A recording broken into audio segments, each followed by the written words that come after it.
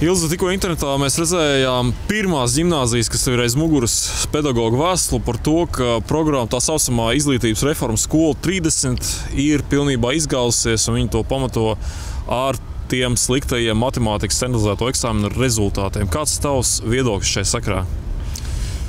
Jā, reforma, kas ir notikusi Latvijas izglītībā, nav nesusi tos rezultātus, ko ir gaidījuši gan skolēni, gan viņu vecāki, gan arī valsts kopumā.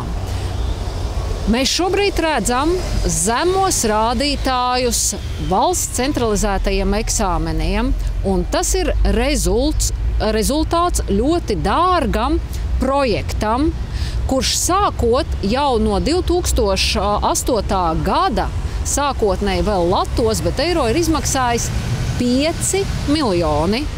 Plus šim projektam klāt ir nākuši vēl aptuveni 18 miljoni eiro. Un tā ir skola 2030 matemātikas mācību materiālu izmaiņas.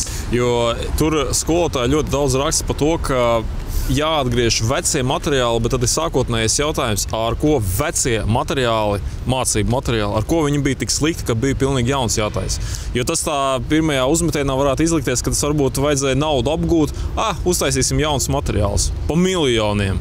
-hmm darba lapas, grāmatas, kurās temati ir samiksēti, kur ir mainīti gadi, kur ir parādījušies jauni temati, kuri nav atbilduši tiem vecuma posmiem un tām klasēm, kādi viņi ir bijuši klasiski, matemātikā, geometrijā. Un, pārējās teiksim, dabas zinātnēs. Kas, ko tas ir nesis? Tas ir nesis to, ka šie priekšmeti ir kļuvuši haotiski, un skolēni ir zaudējuši mācīties pamatus gan algebrā, gan geometrijā, jo mēs esam pat algebru ar geometriju apvienojuši kopā, uztaisījuši par matemātiku.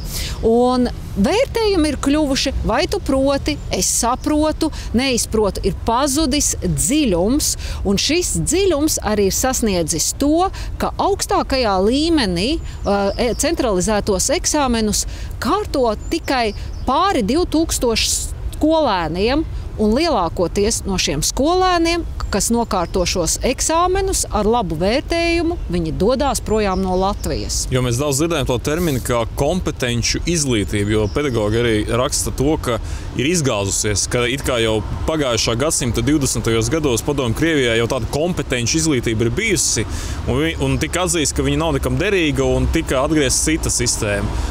Kas ir īsti tā kompetenci izglītība, ja to var tā vienā teikumā? Kompetenci izglītības galvenā pamatdoma ja viņa būtu pareizi realizēta, būtu tad, kad uh, bērni apgūst jebkuras no mācību priekšmetiem saturu un spēj to pielietot dzīvē. Tas nozīmē zināšanas, prasmes, tu vari ar to strādāt. Šobrīd mēs redzam, ka apgūstot šīs kompetenci zināšanas, skolēni ir zaudējuši pamatus. Viņi vispār nesaprot būtību.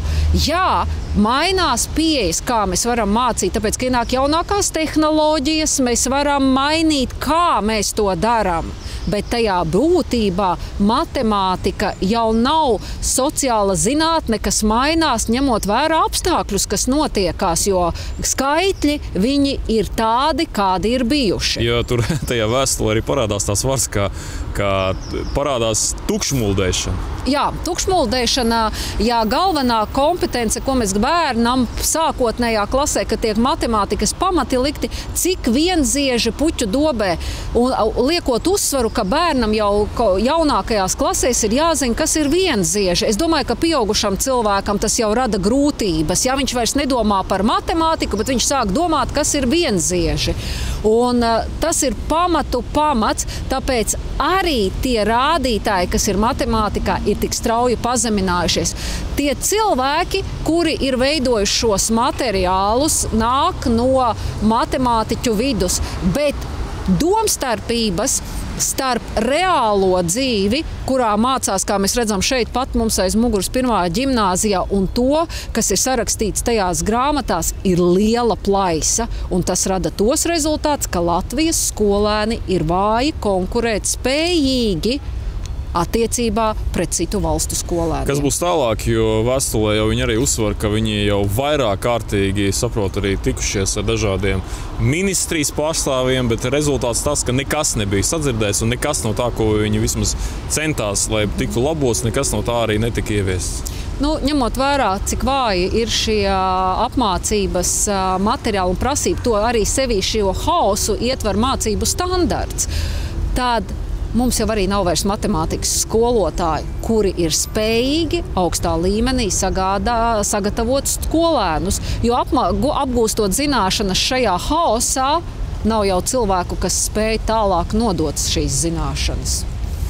Un, uh, ministrija var paaugstināt mācību vietu skaitu, var mainīt programmas, var mainīt nosaukumu, bet kamēr sistēmā, kas ir šī apmācīšana, neveidojās kārtība, kamēr mēs neliekam uzsvaru, mums ir tagad izglītības ņēmējs un izglītības guvējs, tad mums bija izglītotais un izglītojamais.